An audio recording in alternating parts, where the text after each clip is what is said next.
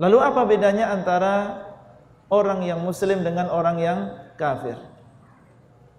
Bedanya seorang yang muslim apabila dia sudah mengakui Allah satu-satunya yang mencipta, Allah satu-satunya yang memberikan rezeki, Allah satu-satunya yang mengatur alam semesta, maka konsekuensinya dia tidak menyerahkan ibadah kecuali hanya kepada Allah SWT. Inilah seorang muslim. Apabila dia sudah meyakini yang tiga tadi, Allah yang menciptakan, memberikan rezeki, mengatur alam semesta, maka dia konsekuen bahwasanya berarti dia tidak boleh menyerahkan ibadah sedikit pun kecuali kepada Allah Azza wa Jalla. Dia tidak menyerahkan ibadah kepada selain Allah. Inilah sikap seorang muslim. Oleh karena itu dia dinamakan sebagai muslim. Dan muslim artinya adalah orang yang menyerahkan dirinya. Menyerahkan dirinya dan juga ibadahnya hanya kepada Allah. Oleh karena itu dinamakan seorang muslim. Apabila seseorang dahulunya adalah bukan seorang muslim yang menyembah kepada selain Allah, menyembah Allah dan juga menyembah selain Allah, maka dia dinamakan seorang muslim yang menyerahkan diri apabila dia hanya menyerahkan ibadahnya kepada Allah SWT. Inilah seorang muslim, dia konsekuen dengan keyakinan yang pertama. Adapun orang-orang musyrikin tidak demikian. Ketika mereka mengatakan dengan lisannya, Allah yang menciptakan, memberikan rezeki dan juga mengatur alam semesta, dan mereka yakini di dalam hatinya. Akan tetapi dalam prakteknya di dalam kehidupan sehari-hari kita dapatkan orang-orang musyrikin Quraisy ternyata mereka dalam satu ini yaitu di dalam masalah ibadah mereka tidak konsekuen. Ada sebagian ibadah diserahkan kepada Allah dan ada sebagian ibadah diserahkan kepada selain Allah SWT oleh karena itu mereka dicap sebagai musyrikin, yaitu menyekutukan Allah di dalam ibadah. Kenapa demikian? Karena ada sebagian ibadah mereka serahkan kepada Allah dan ada sebagian ibadah mereka serahkan kepada selain Allah SWT.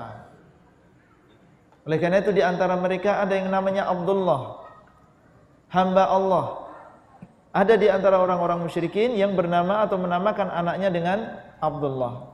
Abdul Muttalib ya Abdul Muttalib ya kakeknya Rasulullah sallallahu alaihi wasallam menamakan salah satu anaknya dengan Abdullah. Padahal dia adalah seorang musyrik. Menamakan anaknya dengan Abdullah menunjukkan bahwasanya mereka juga mengenal Allah Subhanahu wa taala.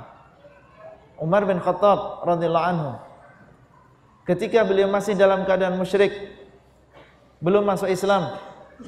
Kemudian beliau masuk Islam, mengabarkan kepada Rasulullah sallallahu alaihi wasallam, "Ya Rasulullah, sesungguhnya aku dahulu di masa jahiliyah ketika masih dalam keadaan musyrik, aku dulu pernah bernadar. Pernah bernadar yaitu untuk Allah Subhanahu wa taala untuk melakukan i'tikaf di Masjidil Haram selama satu malam atau satu hari.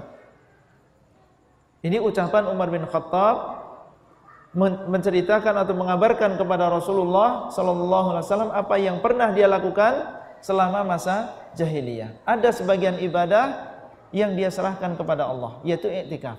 Pernah bernazar untuk Allah SWT melakukan i'tikaf di Masjidil Haram. Ini dilakukan di masa jahiliyah, menunjukkan bahwasanya orang-orang jahiliyah dahulu mereka juga menyerahkan sebagian ibadah kepada Allah SWT. Dan Allah menceritakan di dalam Al-Quran bagaimana keadaan mereka ketika mereka dalam keadaan melaut, mencari ikan atau dalam keadaan berlayar, merantau. Ketika mereka ditimpa musibah di tengah laut, datang ombak yang besar, datang angin yang kencang. Maka Allah ceritakan bahwasanya mereka orang-orang musyrikin mengikhlaskan doanya hanya kepada Allah. Fa idza rakibu fil fulk da'awallaha mukhlishina lahuddin.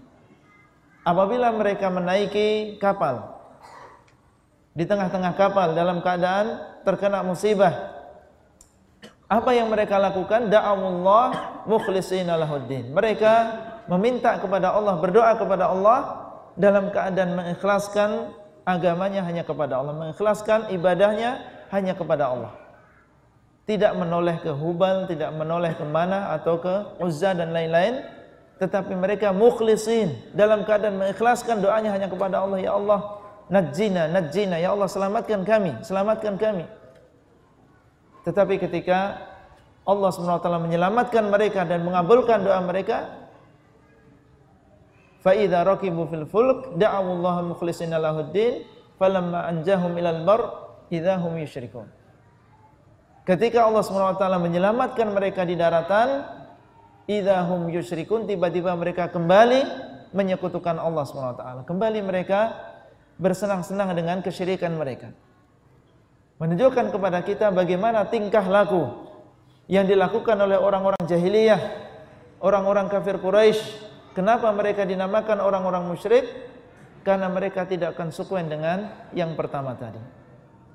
Ada sebagian ibadah mereka serahkan kepada Allah dan ada sebagian ibadah yang lain diserahkan kepada selain Allah Azza wa Jalla. Sehingga mereka dicap sebagai orang-orang musyrikin dan inilah yang diperangi oleh Rasulullah sallallahu alaihi wasallam.